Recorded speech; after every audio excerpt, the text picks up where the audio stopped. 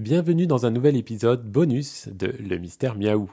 Aujourd'hui, j'ai des nouvelles toutes fraîches de notre aventure avec Merlin et les boutons communicateurs que nous avons récemment reçus à la maison de la marque FluentPet. Je suis Cyril Bauchet, comportementaliste félin et cat-sitter dans la vallée sud des Hauts-de-Seine.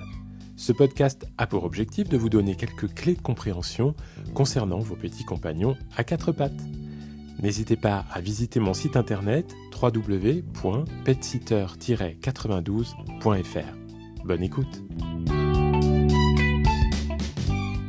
Le 23 avril, j'ai donc reçu le colis tant attendu. À l'intérieur, six boutons qui s'allument à l'appui, trois supports puzzle pour les organiser, un vert, un bleu et un jaune, et le fameux boîtier qui émet les sons de ma voix. La configuration du système n'a pas été sans défi.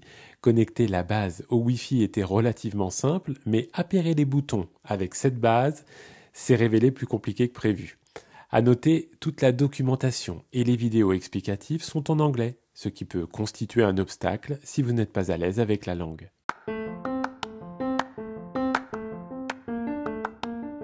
Une petite application est aussi disponible pour enregistrer les pressions sur les boutons exercées par Merlin ou par moi, ce qui donne aussi des statistiques assez intéressantes.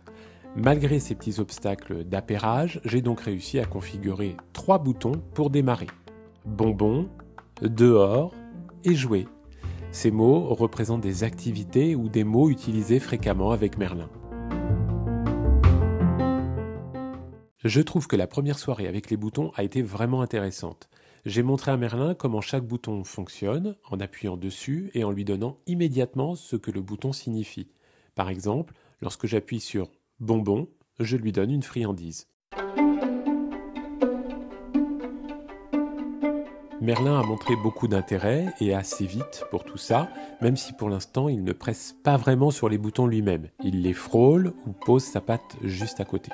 Alors c'est un début prometteur et la modélisation, hein, ce processus d'association entre le bouton et l'action ou le comportement qu'il déclenche, prendra à mon avis du temps.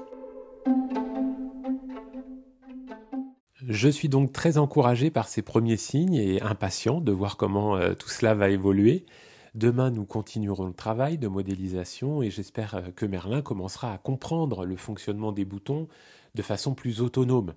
Euh, il faut croire finalement en hein, notre petit compagnon, ça, ça motivera euh, ses rituels quotidiens.